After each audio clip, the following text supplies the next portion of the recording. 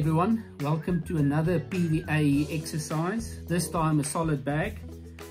And I'm going to be using the quarter solid bags, the large, the mainline spod and PVA pellet mix. And I'll quickly show you guys how this looks like. There we go, it's a variety of pellets and the smell is absolutely divine.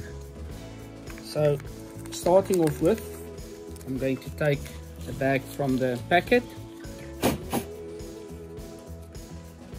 And there's a variety of ways that you do this but I actually put the hook into the bag first and I'm going to just let the hook point come out of the bag on the bottom side. I'll show you now. Let me just feel it through like that.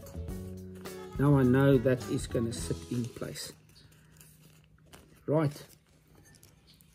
I'm going to take a little bit of my earlier mix and I'm going to put it in the bottom. Literally like that.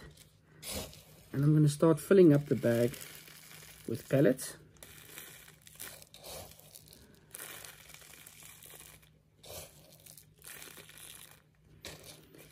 And just compacting it a little bit. Now I'm going to put the lead in. So I'm going to make sure that the lead sits in the middle of the bag and I'm going to fill it up so that the, the, the lead is literally covered like so.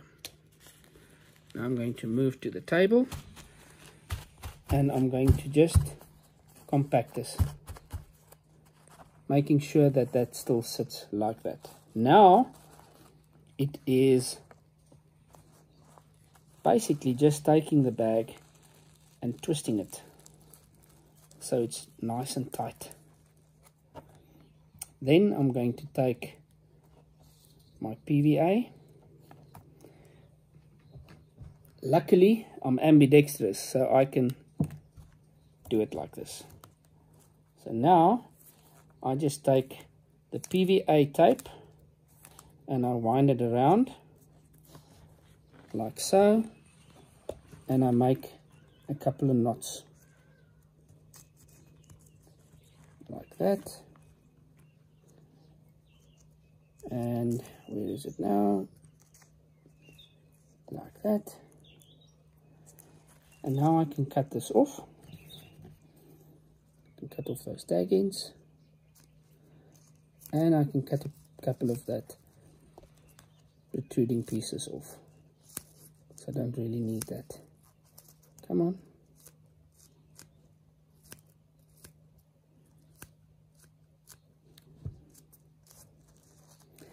Now I literally dab the bag on the back like that. I lick it and I bring it over. And I do the same on this side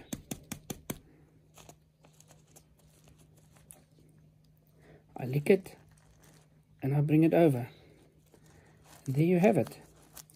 A nicely compacted solid bag ready to be cast out.